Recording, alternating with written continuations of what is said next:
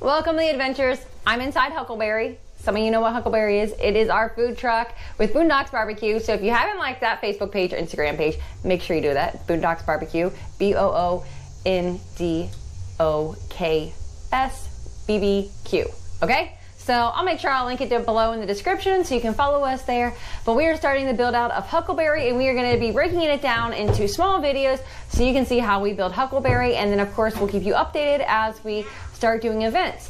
Okay? So the first thing we're going to do is we are going to cut the window in the side of the truck and we're gonna frame it out and then I'll give you an update after we get the window in but we need to get the hole cut so that way we can start installing the insulation and then building the walls so we can put in the equipment the electric the lights all that good stuff so we can get the food truck built get it on the road and start making money with Boondoks Barbecue. All right so here's the window getting cut. It was a little trying a little troublesome. We had some help from some good friends so thank you for helping us and stay tuned.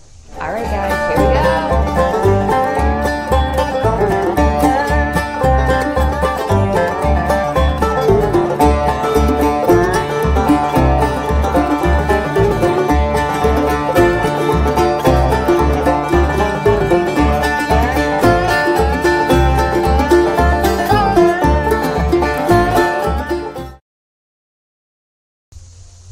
All right, so what did you think about that? Crazy. I know, we trial and error. So, um, yeah, it's been fun. Stay tuned because next week I'm going to show you how we installed the insulation and what we did for that.